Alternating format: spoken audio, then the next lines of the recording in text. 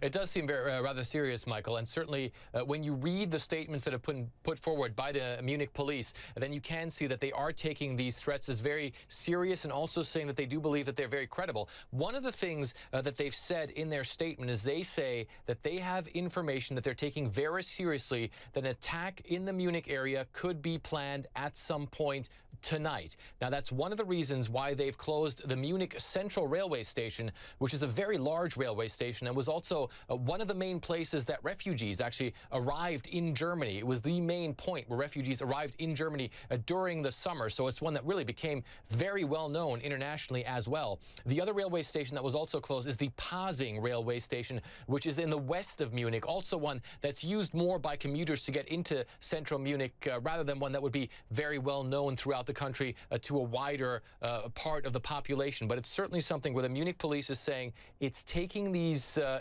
informations they've gotten very, very seriously. And they're also urging people not to go towards larger crowds of people, to stay away from larger crowds. They say they've put additional police on the road and they're trying to come to terms with the threat level that they've received uh, and also try and find possible suspects. However, they haven't put forward any information indicating what kind of plot this might be, who might be behind it, where they got this information from. But it's certainly, uh, from the information that we're getting, uh, seems very likely that this has something to do with some sort of possibly planned attack on the railway station because we've also heard that there are no trains leaving any of those stations, the Munich railway station, the main railway station, as well as the Pasing station at this point, Michael. And, and, and Fred, yeah, they're describing it as an urgent warning, this talk of mm. concrete mm. information, but it's literally a little late in the night uh, when celebrations are well underway well, in Germany, right?